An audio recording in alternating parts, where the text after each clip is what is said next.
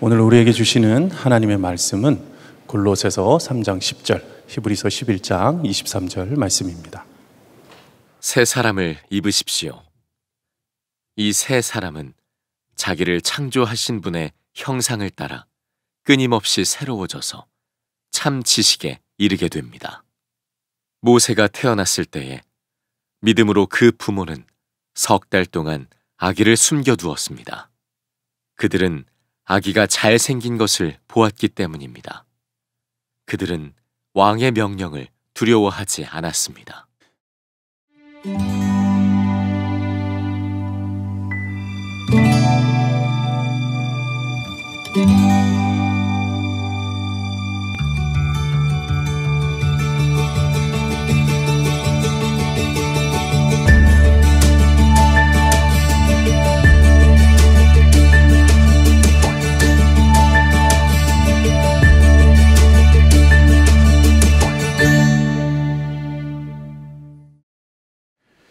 지난 금요일부터 우리 가정 부흥회가 시작이 되었습니다. 이번 가정 부흥회 주제가 Imago Dei 하나님의 형상이라는 뜻입니다.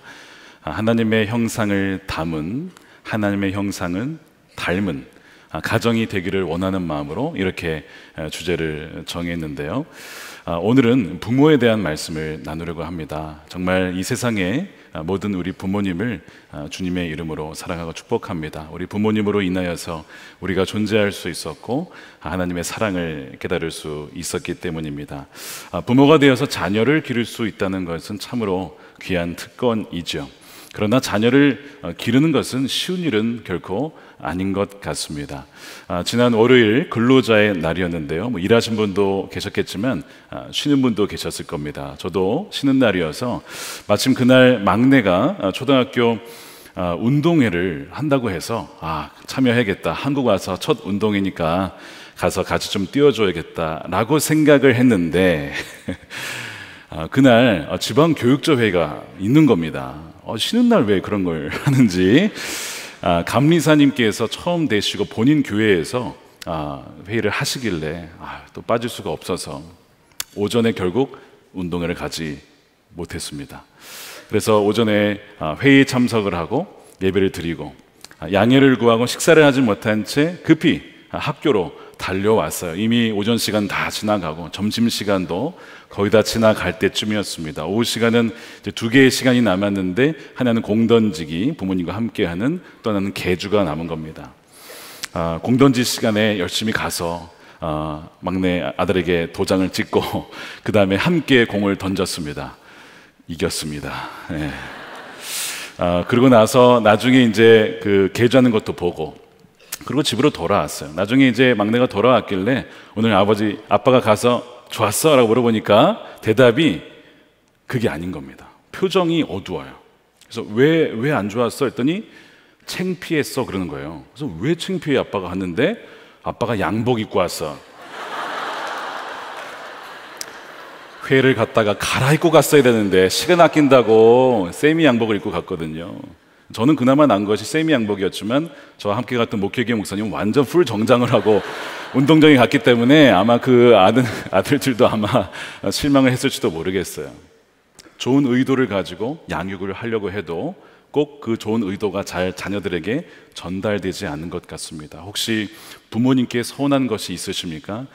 아, 자녀로서는 상상할 수 없는, 생각할 수 없는 그런 일들이 있습니다. 그래서 아, 부모의 또한 자녀 간의 관계가 회복되는 또한 이번 가정의 달이 되기를 원합니다.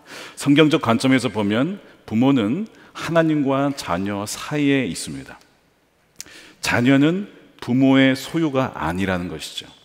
하나님이 잠시 맡겨주신 청지기적 사명을 부모들이 갖고 있습니다. 자녀는 하나님이 주신 기업이라는 거예요. 그래서 우리에게 맡겨 주시고 하나님의 자녀로 키우라고 주신 것입니다. 아, 동시에 부모는 보이지 않는 영이신 하나님을 보이는 방식으로 하나님을 증거하고 보여주라고 아, 부모님을 우리에게 주신 것입니다.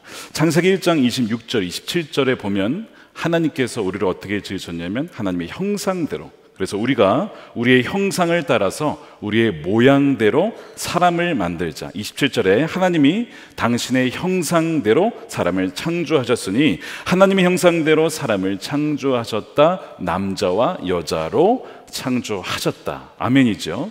하나님이 사람을 지으셨어요.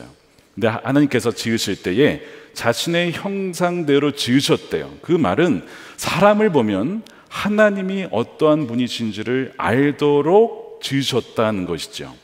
그래서 사람을 보면 하나님의 모습을 알게 되고 그래서 사람은 하나님께 경배하면서 동시에 세상에는 하나님이 살아계시다라고 하는 그것을 어, 증거할 반영시킬 어떤 사명이 우리에게 있습니다. 그래서 우리는 거울과 같은 존재예요. 하나님의 계심을 하나님이 선하심을 하나님이 사랑하심을 어, 자녀들에게 보여줘야 될 의무가 부모들에게 어, 있다는 것입니다. 그래서 자녀들을 사랑하고 보호해주고 그들을 인도해 줄 때에 자녀들은 직간접적으로 하나님이 어떠한 분인지를 부모를 통해서 어, 배우게 되는 것이죠. 문제는 무엇이냐면 이러한 하나님의 형상이 그러니까 부모님 안에 있는 하나님의 형상이 죄로 인해서 어, 깨어졌다는 것입니다. 아, 그것이 왜곡되었다는 데 문제가 있습니다.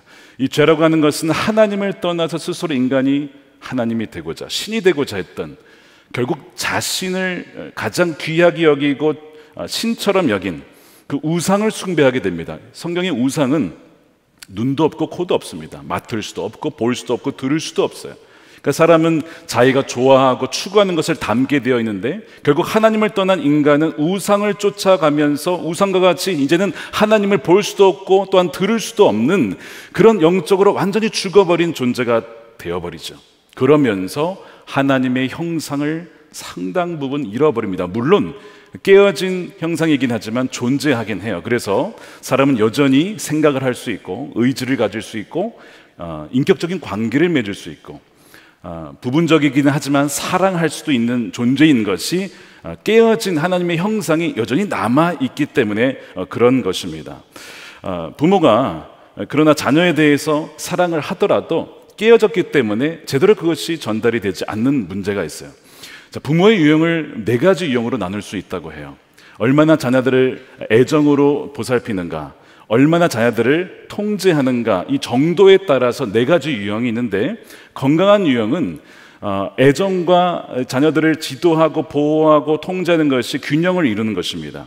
그래서 그것을 건강한 어, 바른 권위를 가진 부모라고 이렇게 표현을 해요. 그러나 어, 이, 이 유형이 아니라 깨어지고 부족하고 이렇게 변질된 유형이 훨씬 더 많습니다. 세 가지 유형이 있는데 첫째 유형은 독재적인 부모예요.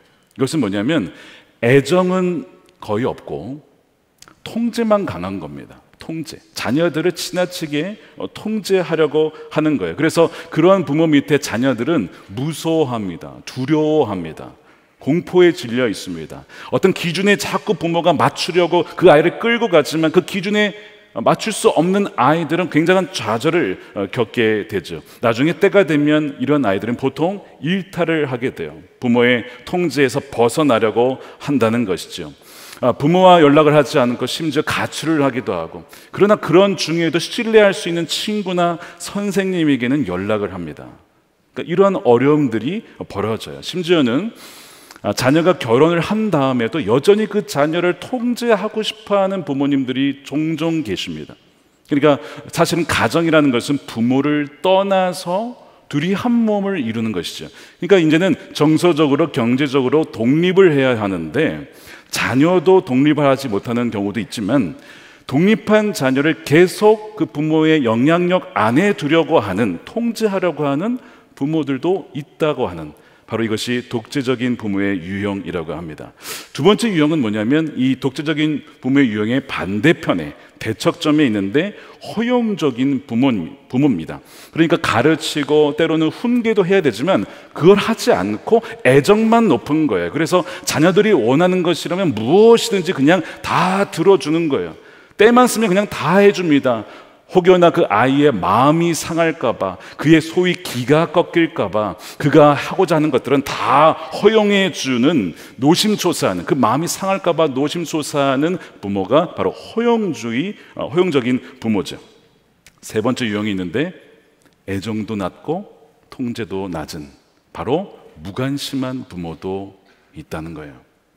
아, 최근에 이런 참 안타까운 이야기를 들었어요. 저희 교회 아이는 아니지만 참 기도가 됩니다. 나는 사랑받는 것을 모르겠다라고 하는 거예요. 청소년 여자 아이입니다. 부모님이 나를 사랑하지 않아. 편애하셔. 나는 사랑받을 만한 존재가 아닌가 봐. 그런 생각을 하는 거예요, 이 아이가. 학교에 가서도 선생님은 나에게는 관심이 없는 것 같아. 교회를 가도 교회에서도 그렇게 인정을 받지 못하는 것 같아서. 그러니까 이 세 군데 모두에게서 이 아이가 이 아픔을 겪는 겁니다. 근데 이 아픔을 겪는 이야기를 누구한테 해요? 친구한테는 하는 거예요. 아, 무관심한 부모라고 그 아이가 느끼면서 동시에 하나님에 대한 생각도 다치는 겁니다. 내가 왜 하나님께 기도해야 돼? 하나님 나에게 관심이 없는데. 내가 왜 기도해야 돼? 아무 필요 없어. 아무 응답 없어. 라고 하는 그 아이의 그 모습을 보면서 정확한 그 가정의 배경을 알 수는 없지만 그 아이가 느끼는 그 편애라고 하는 그 상처가 고스란히 하나님에게도 투영이 되고 있다는 것을 보았어요. 참 기도가 많이 되었습니다. 이런 무관심한 부모로 인하여서 상처를 받는 아이들도 있다는 거예요. 우리 교회 성도님들은 다 건강한 유형의 부모이시죠.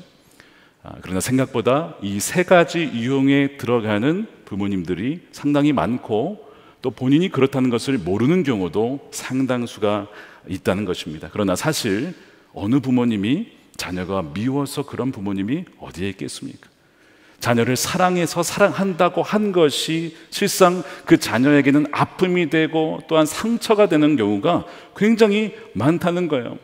어, 목회를 하다 보니까 그런 분들이 계세요. 자녀를 길러봤는데 너무 후회가 된다. 왜냐하면 자녀를 위한다고 사랑한다고 한 것이 우리 아이를 옥죄고 얽매게 하고 심지어는 율법적으로 아이를 가르쳐서 아이들이 결국에는 하나님의 사랑을 느끼지 못하는 뭐 그런 일들을 보면서 참 후회가 된다라고 하는 분들을 여럿 만나게 됩니다.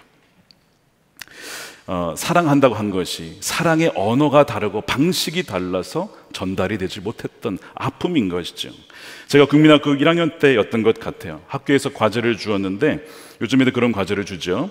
화분에 씨를 심으면서 물을 주어서 키운 다음에 그것을 학교에 내면 선물을 준다는 겁니다. 저는 어, 두 가지 이유 때문에 신청을 했어요. 하나는 정말 이 씨가 자랄까라는 궁금증과 함께 어, 선물이 도대체 뭘까라는 궁금증과 함께 어, 도전을 했습니다. 물을 주니까 정말 햇볕에 두고 물을 주고 어, 관심을 가지니까 이 잘하는 거예요. 그래서 정말 사랑으로 그 화분을 제가 길렀습니다. 그래서 햇볕도 자주 비춰주고 제 얼굴도 비춰주고 이러면서 물도 주고 이러면서 아 잘 자라는 거예요. 아 이렇게만 자라면 이제 때가 되면 아 제출을 하고 선물을 받을 수 있겠다.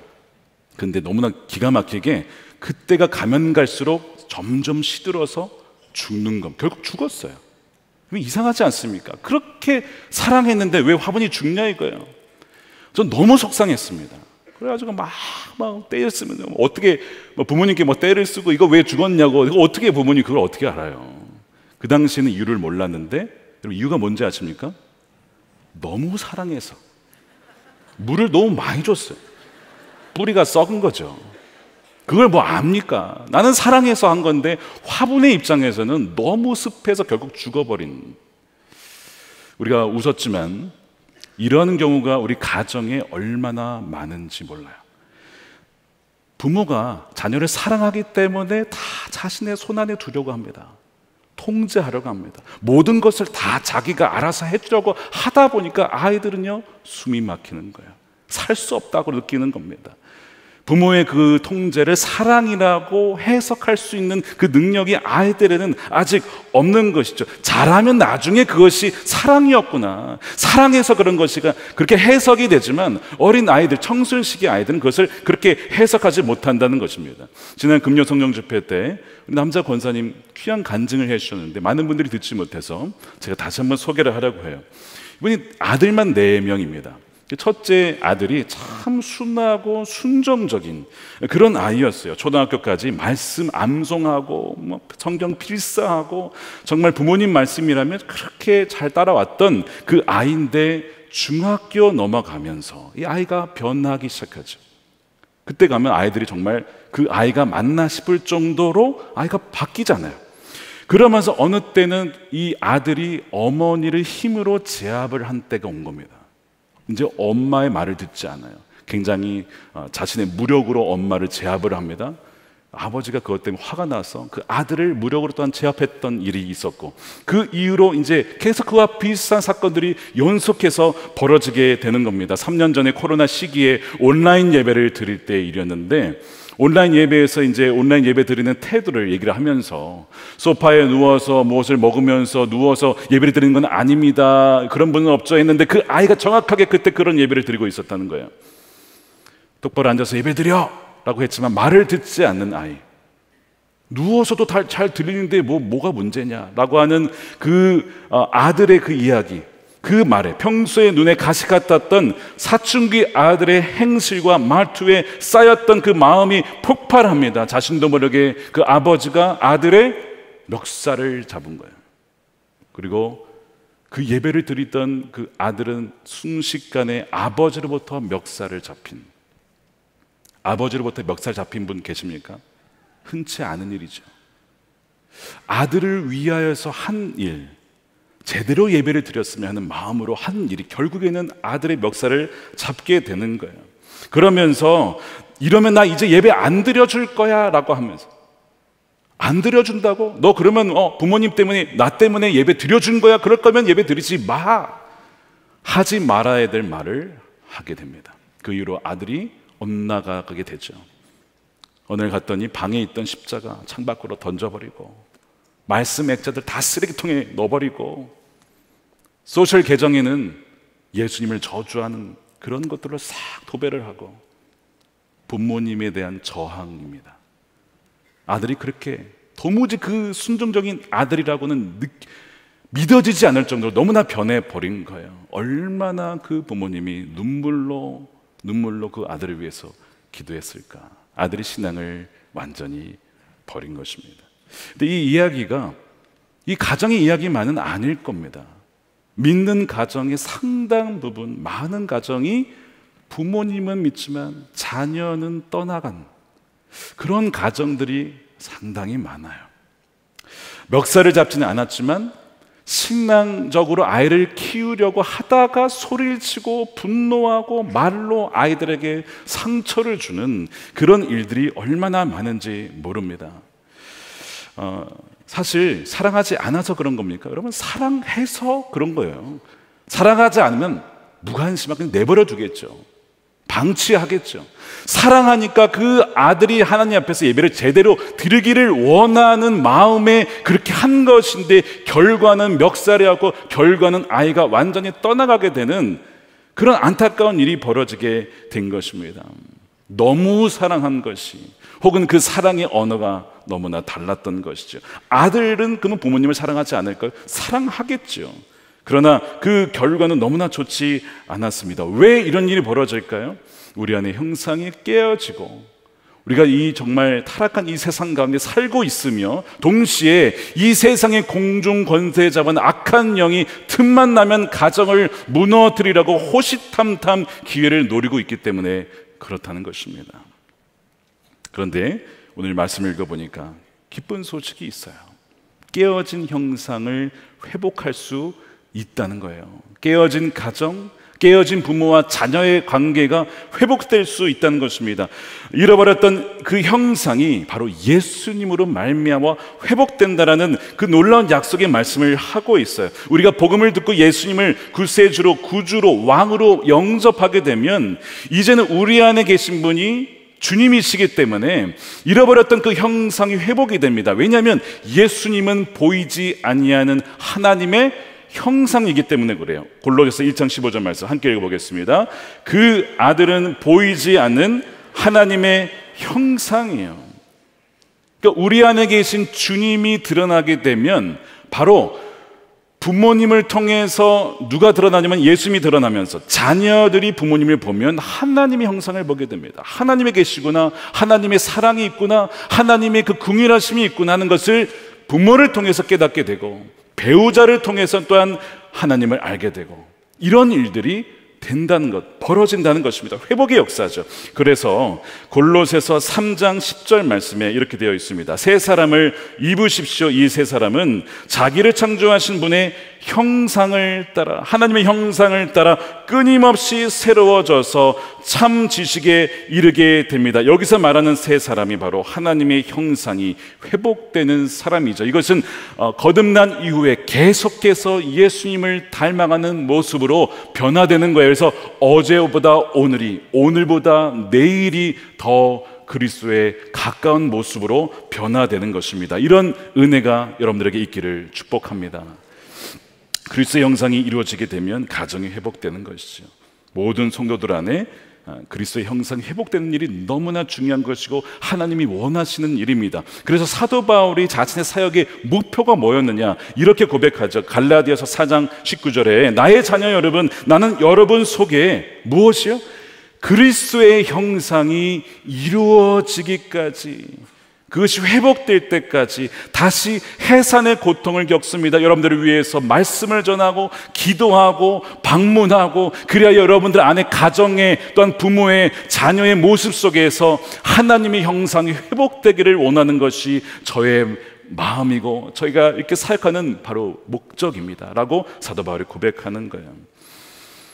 그러므로 우리가 자녀들에게 부모로서 해줄 수 있는 가장 좋은 선물 부모의 가장 중요한 책무는 무엇이냐면 바로 예수님과 동행함으로 정확하게 얘기하면 성령님과 날마다 동행함으로 그분이 어디를 인도하시는지 순종함으로 말미암아 우리 안에 그리스도의 형상을 회복할 때에 그것이 자녀들에게 줄 수 있는 가장 존귀한 선물이에요. 왜냐하면 그 부모를 통해서 자녀들은 하나님을 보기 때문에 그래요. 하나님을 경험하기 때문에 그렇습니다. 그래서 부모에 주어진 가장 중요한 사명 그겁니다. 그러면 자녀들은 하나님의 존재를 알게 되고 하나님의 성품을 경험하게 되고 하나님의 그 자녀들을 향한 뜻을 또한 그 자녀들도 부모를 통해 깨닫게 되는 거예요. 자, 이러한 부모의 귀중한 이 사명을 잘 감당한 성경적인 부모의 모델이 있습니다. 모세의 부모님 아므람 요게벳이에요. 히브리서 11장에 보면 믿음의 전당에 들어간 믿음의 영웅들이 쫙 나와요. 아브라함부터 뭐 아벨부터 시작하죠. 쫙 나오지만 갑자기 믿음의 부모 이야기가 나오는데 그게 모세의 부모입니다. 11장 히브리서 11장 23절에 보면요. 모세가 태어났을 때 믿음으로 그 부모는 부모가 등장하죠. 석 달 동안 아기를 숨겨두었다는 거예요. 이유가 아기가 잘 생기는 것을 보았기 때문입니다. 자, 모세는 우연히 태어난 것이 아니라 우리 자녀는요. 우연히 태어난 것이 아니고 하나님의 섭리 가운데 태어난 것입니다. 하나님의 계획 가운데 태어난 것이죠. 어, 이 모세는 하나님의 은혜 가운데 태어난 것이지만 동시에 모세의 믿음의 부모가 있었기 때문에 모세는 모세가 될수 어, 있었던 거예요. 당시에 모세가 태어났을 때 바로 왕이 아기들을 죽이라고 했습니다. 히브리 아이들. 그런데 그때에 이 믿음의 부모였던 이 아므람과 요게벳은 목숨을 걸고 이 아이를 지켜내죠. 발각되면 다 죽을 수도 있었지만 목숨 걸고 이 아이를 지킵니다. 그 이유가 뭐냐? 이렇게 되어 있어요. 아이가 잘생긴 것을 봤기 때문이다. 이것은 단지 내 아이가 너무 예쁘다. 너무 잘생겼다. 이렇기 때문에 지켰다는 뜻이 아닙니다. 왜냐하면 이 동일한 말씀을 사도행전 7장 20 20절에 스테반이 설교를 하면서 이렇게 얘기를 해요. 바로 이때 모세가 태어났습니다. 그는 용모가 아주 잘생긴 아기였습니다라고 한글 성경엔 번역을 했지만 여기에 원어에 빠진 내용이 있어요. 원어에는 뭐가 있냐면 테오스라고 하는 하나님이라는 단어가 있어요. 그래서 그것을 영어 성경은 정확하게 번역을 했습니다. 번역하면 이런 겁니다. 그는 하나님의 보시기에 아름다웠습니다. 하나님의 시선으로 하나님 관점에 보기에 너무나 아름다운 아기였기 때문에 그 부모는 이 아이를 지켜냈다라고 말씀을 하는 거예요. 다른 어떤 번역에서는 이 아이는 보통 아이가 아니었다. 이렇게 번역을 했어요. 하나님의 존귀한 자녀임을 알았다는 거예요. 이것이 이 모세 부모의 믿음의 부모의 어, 선택이었고 분별이었습니다. 지난 전도 집회 때 루카스 이런 내용이었죠. 장애를 가진 부모님의 아이로 루카스가 태어나요. 그 루카스도 장애를 갖고 태어나서 의사 소견은 15분 만에 죽을 거다. 그러나 기적적으로 며칠을 더 살게 됩니다. 그런데 이 루카스는 역시 장애를 안고 태어났어요. 사람들이 보기에는 뭐라고 할 수도 있죠. 그 아이가 뭘 할 수 있겠는가? 근데 부모님, 그 루카스의 부모님은 그 루카스를 너무 귀하게 우리에게 주신 하나님의 선물이야. 루카스야, 내가 너와 태어나서 너무나 기뻐. 단지 외모로 그 아이의 어떤 모습으로 아이를 사랑하는 것이 아니라 하나님의 시선으로 하나님의 관점으로 그 아이를 보면 너무나 존귀한 아이임을 보게 되는 것이죠. 바로 그 관점이에요. 모세의 부모님은 바로 그 관점으로 모세를 본 것입니다. 아, 그래서 이것이 어, 보통 아이가 아니라는 것은 세상에서 뭐 뛰어난 아이가 된다 이런 개념이 아니에요. 세상에서 봤을 때는 평범해 보일지 모르지만 하나님 나라에서 너무나 존귀한 아이임을 알았기 때문에 이 아이를 지켜내야겠다라고 했던 것이죠. 이런 눈을 가진 부모님의 특징이 있습니다. 23절에 아, 히브리서 11장 23절에 세상을 두려워하지 않는다는 특징이 있어요. 사람은요, 어떤 동기를 가질 때 두려움 때문에 움직이는 경우가 상당히 많습니다. 그러니까 지금 이들은 왕의 명령을 두려워하지 않고 지켜냈는데 상대적으로 많은 부모님들이 두려움 때문에 아이들을 몰고 갑니다. 자, 소위 이 애굽은 세상을 상징하죠. 악한 세상, 타락한 세상, 어, 제도화된 세상, 아이들을 무한 경쟁 사유로 몰고 가는 세상을 상징합니다. 거기에 왕, 이끌고 가는 왕이 바로 왕이에요. 거기에 순응하지 않으면 아이들은 죽는 거야. 뒤처지는 거야. 무한 경쟁 사회에서 떨어지게 되는 것입니다. 많은 부모님들이 이것이 두려워서 어떻게 하죠? 아이들을 무한 그 경쟁 시스템에 들어놓고 소위 돌립니다. 어린 시절부터 돌아다니는 거예요. 부모님과 함께 할 시간도 별로 없고, 믿음 생활 할 시간도 별로 없고, 가정에서도 기도할 시간 더더욱 없고, 그렇게 돌아가면서 아이들은 자라가게 돼요. 애굽이라고 하는 짜여진 세상의 시스템 안에 적응하지 못하면 뒤처지니까. 성공의 사다리에 올라타야 되니까. 남들보다 앞서서 더 높이 올라가야 되니까. 그렇지 않으면 잊혀질까봐 세상에서 처질까봐 두려운 것입니다. 그래서 그 결과는 아이들을 다그치고 화를 내기도 하고 너는 왜 그렇게 그거밖에 못하는 거야? 다른 아이 누구는 그렇다더라 비교를 하면서 그 아이를 억압하지는 않습니다. 그 마음에 뭐가 있는 겁니까? 두려움이 있는 겁니다. 여러분 마음에는 무엇이 있습니까? 두려움 때문에 그 아이들을 하나님이 우리에게 맡겨주신 하나님의 자녀, 하나님의 시선을 보기에 너무나 존귀한 그 자녀를 세상의 자녀로 지금 만들어 가고 있는 것은 아닌가. 사랑한다고, 사랑해서 살아남게 하기 위해서 한 것인데 실은 그 아이들을 죽이고 있는 것 아닐까. 근데 이 모세의 부모는 어떻게 했다고요? 왕의 명령을 두려워하지 않았다는 것입니다. 왕의 명령, 세상의 시스템, 세상의 무한 경쟁 두려워하지 않아요. 왜냐하면 진정 그 아이를 주관하는 분은 누굽니까? 하나님이심을 분명히 알기 때문에 그래요. 두려워할 자를 두려워하는 것입니다. 하나님을 경외하는 것입니다. 그렇기 때문에 그 부모는 그 모세를 그 믿음으로 길러내게 된 거예요. 그래서 보호를 하죠. 그러나 일정 시간이 되면 결국에는요, 부모는 그 아이를 내가 다 기를 수 없음을 알아요.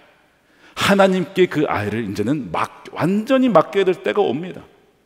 통제할 수 없어요, 이제는. 하나님이 그 아이를 키우시도록 내어드릴 때가 온다는 거예요. 그것이 요게벳이 만들어낸 갈대 상자입니다. 출애굽기 2장 3절에 그러나 더 이상 숨길 수가 없어서 아 이제 부모가 할 수 있는데 한계에 다다랐어요. 더 이상 우리가 데리고 있으면 얘는 죽는 거예요.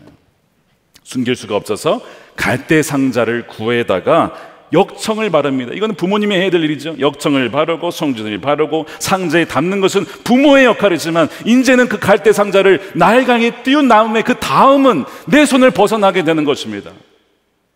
그런데 기도를 드리는 거예요. 하나님 이 아이를 주님 손에 맡깁니다.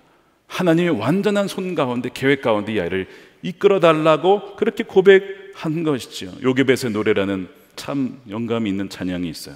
사실 오늘 설교 이후에 함께 부르고 싶었는데 찬양이 이렇게 가사 너무 좋고 음률 좋지만 쉬운 찬양이 아니라서 부르진 못하고 가사만 제가 이렇게 읽어드리겠습니다.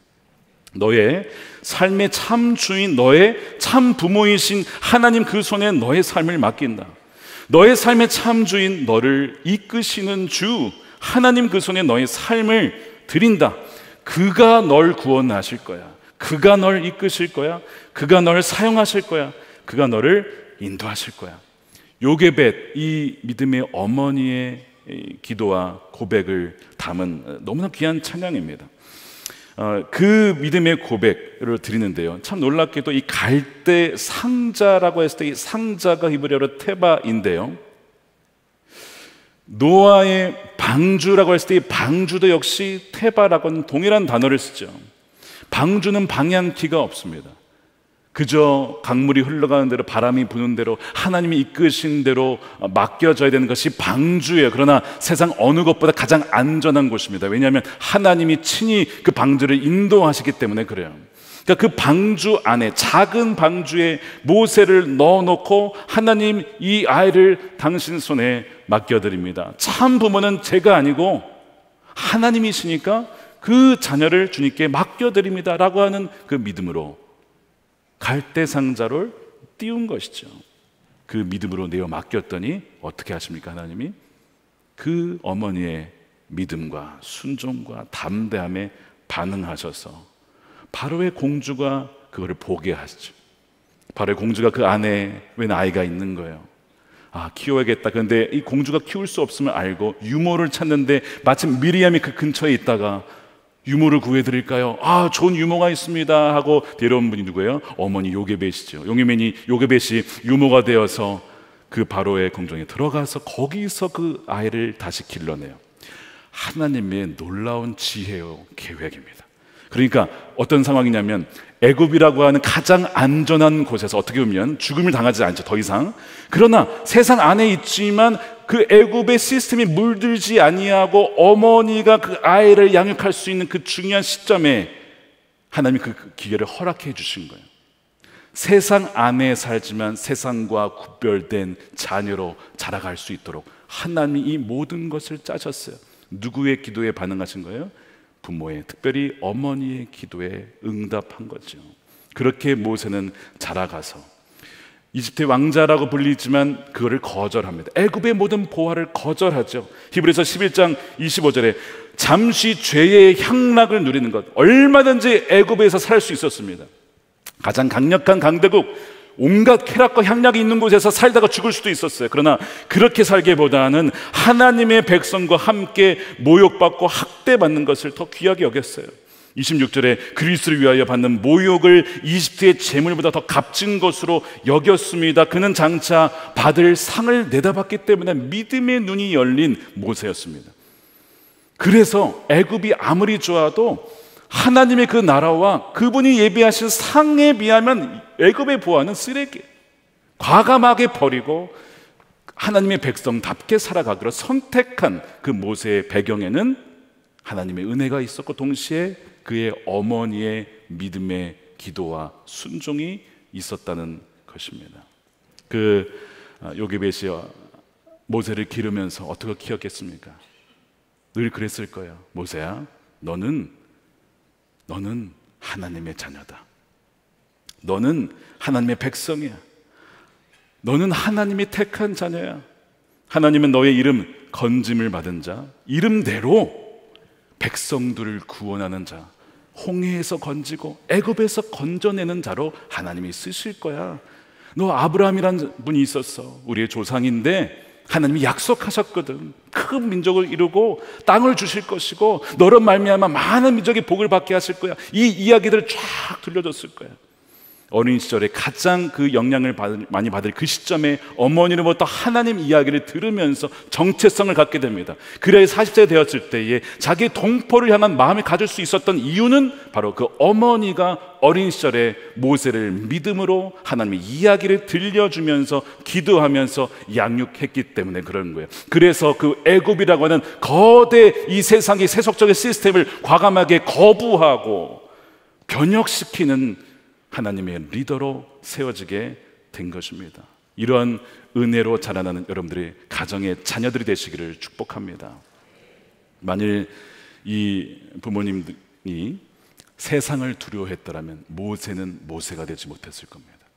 여러분 무엇이 두려우십니까 지금? 무엇이 염려가 되십니까?